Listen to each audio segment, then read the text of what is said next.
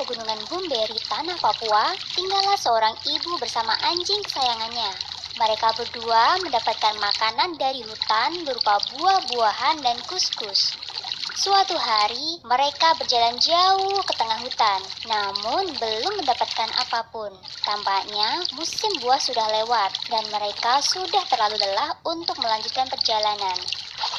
Dalam perjalanan pulang, ibu dan anjingnya melihat sebuah pohon pandan yang sedang berbuah dengan lebat. Sang ibu langsung memetik beberapa buah untuk dirinya sendiri dan anjingnya. Mereka berdua makan dengan lahap, setelah itu, sebuah keajaiban terjadi.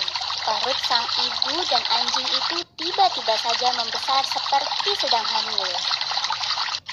Tak lama kemudian, sang ibu melahirkan seorang bayi laki-laki yang diberi nama Kueya. Setelah dewasa, Kueya sangat rajin membantu ibunya membuka ladang. Berbekal kapak batu, dia berjuang menebang pohon satu demi satu. Sementara itu, sang ibu membantu membakar daun-daunan kering hingga menimbulkan asap. Asap itu membumbung tinggi ke angkasa, menarik perhatian seorang kakek tua. Setelah tiba di tempat asap itu berasal, sang kakek melihat Kueya sedang menebang pohon. Kueya terlihat kelelahan. Kapak batunya sama sekali tidak membantu pekerjaannya. Kakek itu lantas memberi sebuah kapak besi kepada Kueya. Tapak besi pemberian sang kakek begitu tajam dan kuat. Dalam waktu sekejap, Kueya berhasil membuka ladang untuk ibunya. Untuk berterima kasih kepada sang kakek, ia pun membawa kakek itu ke rumah. Ia bermaksud untuk mengajak kakek itu tinggal di rumahnya dan menjadi ayahnya. Sesuatu yang paling diharapkan Kueya pun terkabul. Sang kakek sekarang sudah menjadi ayahnya dan dia kini memiliki tiga adik dua adik laki-laki yang selalu ribut dan satu adik perempuan yang sangat manis. Hidupnya terasa begitu bahagia. Hingga suatu hari saat ayah dan ibunya pergi, kedua adik laki-lakinya mengeroyok hingga dia memar dan luka-luka. Rupanya kedua adik laki-lakinya merasa iri karena sang ibu lebih menyayangi dirinya. Kueya hanya diam saja tanpa melawan sama sekali. Weya tak tahu bagaimana harus menjelaskan tentang luka-luka itu kepada ibunya.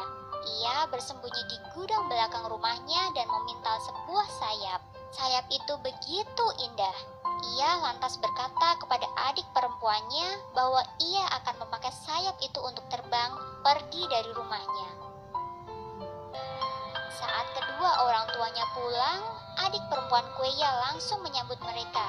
Ia kemudian menceritakan tentang apa yang terjadi pada Kueya, serta kenakalan yang dilakukan oleh kedua kakak laki-lakinya yang lain. Sang ibu begitu sedih mendengar cerita itu.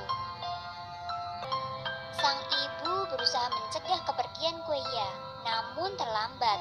Kueya telah berubah menjadi seekor burung yang sangat cantik. Dia bertengger di jendela gudang dan berkata kepada ibunya, Sayap untuk ibu sudah aku siapkan di bawah jerami. Sang ibu mengikuti Kueya ke mana pun ia pergi. Dari atas pohon, Kueya dan ibunya yang telah berubah menjadi burung mengamati kedua adiknya. Mereka berdua saling menyalahkan, saling melempar abu tungku hingga badan mereka berwarna hitam. Lalu mereka pun berubah menjadi burung-burung dengan warna hitam. Kueya dan ibunya menjelma menjadi burung yang sangat menawan. Burung itu kini dikenal dengan nama burung cendrawasih. Di hutan tempat mereka tinggal dulu kini dipenuhi oleh burung-burung hitam yang menurut cerita merupakan penjelmaan dari adik-adik Kueya. Pesan moralnya, sesama saudara kita tidak boleh saling menyakiti karena hal itu akan membuat keluarga kita tidak bahagia.